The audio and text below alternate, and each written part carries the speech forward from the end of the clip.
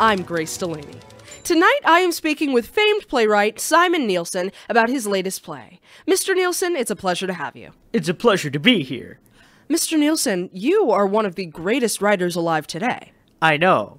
I'm sure there are some in our audience who would like to know what your process was for writing this play. What was your inspiration? Well, I was sacrificing a goat to the sun god Ra when all of a sudden this meteor came crashing through my ceiling.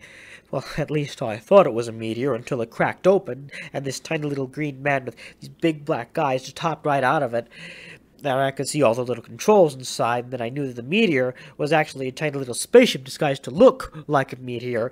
Anyway, the creature hops out, and he pulls out this giant phaser, and he says to me, You will meet my demands, or I will vaporize you. So naturally, I ask him what he wants, and he tells me that he wants my dog.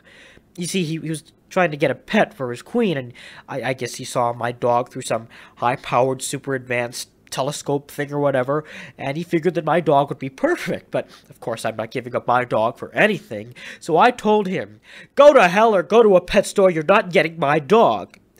Then he says to me, You leave me no choice, foolish earth creature. I shall have to take the dog by force, and you must die.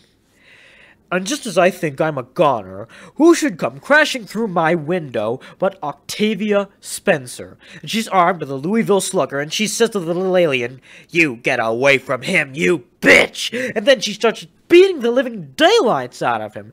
And she completely destroys his phaser and his face his spaceship, so he can't use either of them anymore. He's essentially stranded and disarmed. So he so with his last dying breath, he looks up to the sky and he says, I failed you, my queen. And he pulls out this dagger.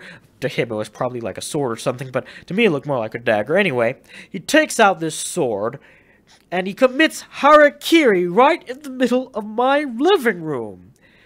Anyway, I, I look back to thank Octavia Spencer for saving my life, but she was gone. But then I started to get this tinkling feeling, and then, then I knew, I knew, I just knew I had to get to my computer and start writing. And that's what inspired this last play I wrote.